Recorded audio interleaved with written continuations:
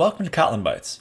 Have you ever made an Android app? Well, in this video, I'm going to walk you through creating a simple tic-tac-toe game. Let's get started.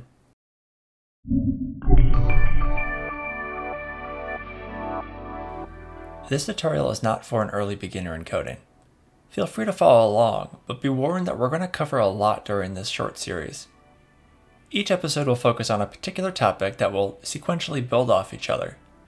I'm sure I'll skim over some details that you may not fully understand. If that's the case, please leave a comment below and I'll either respond directly or create another video answering the topic if it warrants one. Alrighty, let's get to it. Make sure to download Android Studio. It's fundamentally the same as IntelliJ IDEA, which is what I typically use for this channel, but with extra tools to accelerate Android development. I'll leave a link in the description. Start by creating a new project then select the empty activity template. This will set up the project with one primary screen for us to begin. Choose a name and a package. Ideally, the package name should be your website domain in reverse, with the application name or identifier placed last. Ultimately, you want the package name to be specific to your app. I would recommend using API 26 or above. If you need to support nearly the entire Android market, don't pick an API below 21. Below that, you'll run into some significant compatibility issues. Here's our main activity. We'll get to it in the next episode. Today we want to focus on the layout. Unfortunately, this means little to no Kotlin this episode since the layout is in XML. Well, at least for now. They are working on Jetpack Compose, which promises to bring cleaner layouts defined entirely with Kotlin. However, until then, we are stuck with XML. Before we jump into the XML, let's select our assets. Jump over to the Resource Manager. You'll likely find it on the left panel, but if you don't, double tap Shift and type Resource Manager. We'll need to import some icons for this app. I like to use a website called Material Design Icons. There is a decent selection and they're all open source. I'll select a circle and then export the vector code directly. Let's go back to Android Studio. I can add a new resource file I'm going to call it ic underscore circle for icon circle. The root element will be a vector, and the directory name will be drawable. Then paste the vector code here. Navigate back to the Project tab, and you'll notice that the circle icon appears under the drawable folder. Copy and paste this icon to create a new one for the star. I know tic-tac-toe typically uses circles and X's, however I figured I would mix it up a bit. Follow the same process to add this icon. And finally, the empty space icon.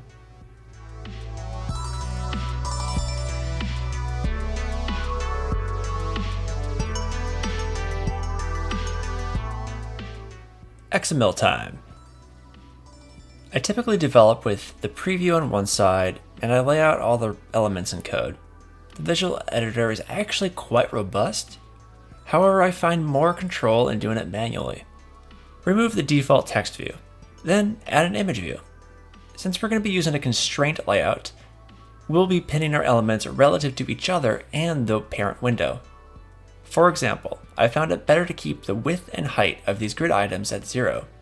Instead, I will use the constraint width percent property to set this to a quarter of the screen width.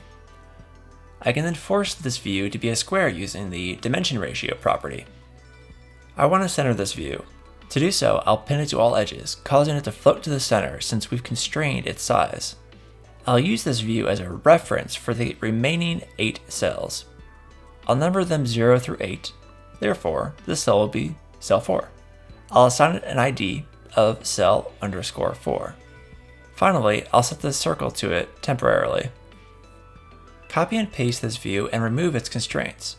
We're going to add more constraints to it. Notice we want to pin it to the center cell's top left. Continue at this process for all 9 cells. Since we're not overlapping these views, the order doesn't really matter all that much. Therefore, I will place cell 4 in between cells 3 and 5 for cleanliness. Notice Android Studio is asking us for a content description to be applied to these images, Although it's optional, more or less, it's recommended for accessibility. So let's navigate to our strings file and create a simple image description. select cell. That should be okay. Then apply this to all the images. We're going to use the frame layout for the grid lines. So add a frame layout and set its width to 0, the height to 1, and the background to black. We'll pin the view to the outer edges of cells 0 and 2 while placing it directly above cell 4. We can then copy and repeat this process for the other three lines using a similar method to finish the board's grid lines. Next, we want to create a reset button. Add the label to our strings file, and then center this view between the bottom of our screen and cell 7. Finally, add a game status text view to our layout hierarchy. Setting the background to this built-in Android color background property will help us later on.